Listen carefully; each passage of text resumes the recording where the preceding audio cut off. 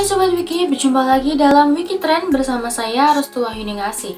Pemerintah memutuskan untuk memperpanjang PPKM Darurat Jawa Bali hingga 25 Juli 2021. Dalam keterangan resminya, Presiden Jokowi menyebut akan mulai membuka berbagai pembatasan pada 26 Juli.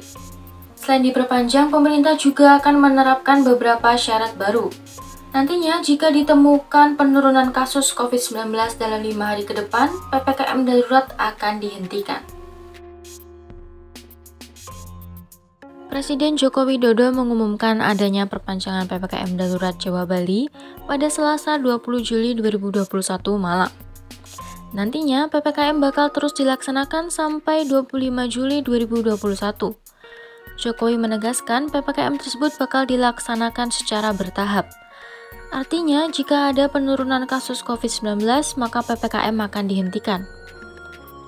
Presiden pun menjelaskan skenario pencabutan PPKM darurat jika tren penyebaran COVID-19 berkurang. Ia menyebut pembukaan bertahap akan dilakukan dengan membuka pasar tradisional terlebih dahulu. Kemudian akan dibuka dengan PKL, toko kelontong, pangkas rambut, laundry, bengkel, dan usaha kecil lain diizinkan buka dengan prokes ketat sampai pukul 21 waktu Indonesia Barat. Lalu untuk warung makan, PKL yang berada di ruang terbuka diizinkan sampai pukul 21 waktu Indonesia Barat. Lebih lanjut, maksimum waktu makan untuk tiap pengunjung hanya 30 menit. Adapun sektor lain di esensial dan kritikal dan terkait perjalanan akan dijelaskan terpisah oleh pemerintah. Di sisi lain, Jokowi menjelaskan bahwa kebijakan PPKM darurat bukan hal yang bisa dihindari. Kebijakan tersebut dilakukan guna menurunkan penularan COVID-19 serta mengurangi kebutuhan masyarakat untuk pengobatan di rumah sakit. Dirinya berkata, selama ini pemerintah memantau perkembangan PPKM darurat. Jokowi pun menyebut selama pelaksanaannya, kepenuhan tempat tidur di rumah sakit mengalami penurunan.